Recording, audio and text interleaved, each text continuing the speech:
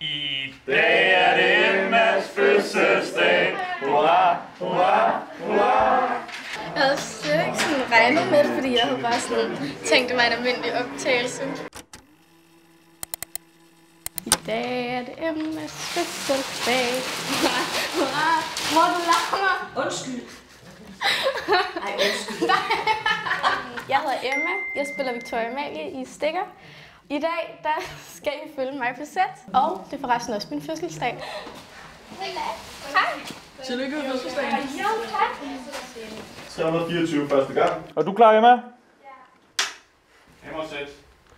Værsgo! I dag er det Emmas fødselsdag. Hurra, hurra.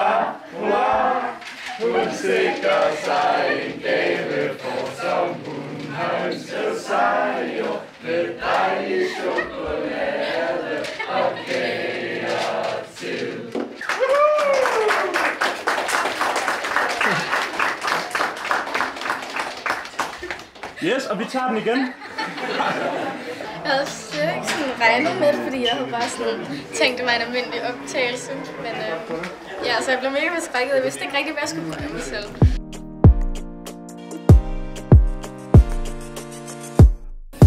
Åh, oh, jeg får se her. Øhm, så en skala fra 1 til 10. Ej, ej, her går noget. Er den, øhm,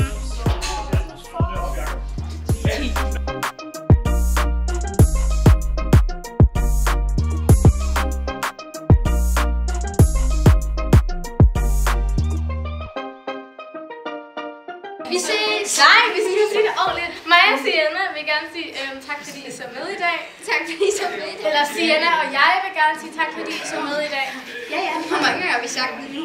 Mange gange. Sådan ser det altså ud, da jeg havde fødselsdag på optagelserne. Men husk, at du lige nu kan se stikker, hvis du trykker ind på det her tv lige her. Vi ses!